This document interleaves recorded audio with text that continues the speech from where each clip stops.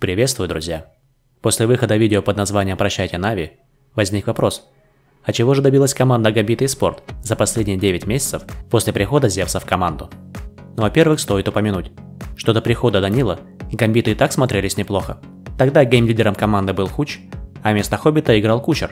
Ребята стали легендами мажора, из-за чего автоматически попадали на следующий, в Атланте 2017. К тому же перед самой сменой состава они выиграли Адреналин Киберлигу, а с нее 50 тысяч долларов. И вот, 12 октября 2016 года мы все с вами узнаем, что Гамбит и Спорт появились два новых игрока, один из которых это Данил Тесленко. А вместо Цаги, который был тогда тренером команды, взяли хорошего знакомого Зевса, Михаила Кейн-Благина, с которым он начинал еще играть в Про-100 в далеком 2004 -м. Я думаю, не нужно объяснять, по чьей инициативе Кейн стал тренером команды.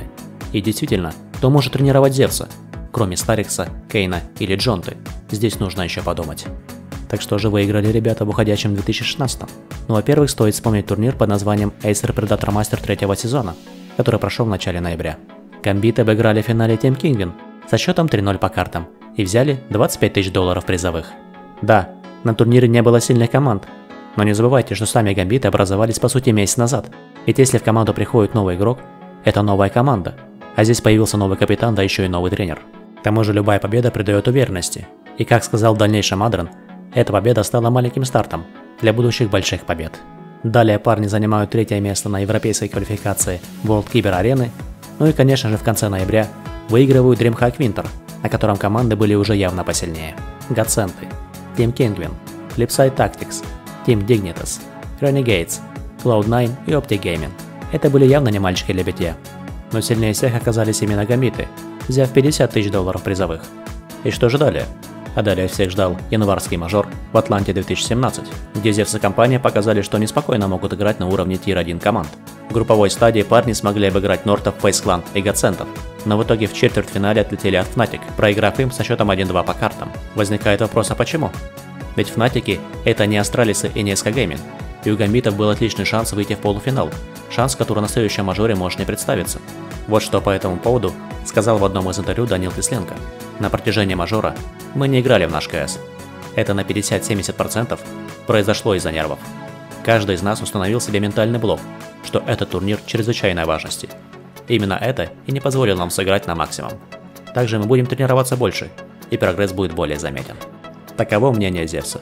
Но по мне еще сказался слабый маппул.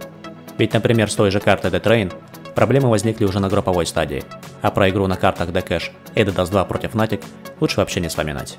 В конце апреля ребята занимают второе место на CS Summit в Лос-Анджелесе, уступив в финале сильнейшим бразильцам из SK Gaming. А буквально через неделю выигрывают DreamHack Austin, обыграв в полуфинале сильнейших французов из G2 со счетом 2-1 по картам, а в финале бразильцев из Immortals, выиграв 50 тысяч долларов призовых. А теперь давайте ответим на вопросы. Что же привело команду Габит к таким относительно неплохим результатам за короткий промежуток времени? И чем эти парни подкупают своих болельщиков? Ну, во-первых, коллектив выделяется сильным казахским трио, которым Адрен и Моу знакомы еще с друг другом с версии 1.6, когда играли в одной команде под названием К-23. А Хоббит, хотя и был новичком мажора, сыграл вполне уверенно, хотя признался, то сильное волнение мешало ему только в первой встрече. Во-вторых, это тренерская работа со стороны Кейна, которая позволила уже через пару-тройку месяцев обыгрывать как минимум тир-2 команды. В-третьих, это капитанские возможности Зевса, переход которого в команду переманил многих болельщиков со стороны НАТО Свинцер. В-четвертых, не стоит забывать, что Дося, Адрен, Моу, Зевс и Хоббит – это очень опытные игроки, которые повидали в КС уже немало.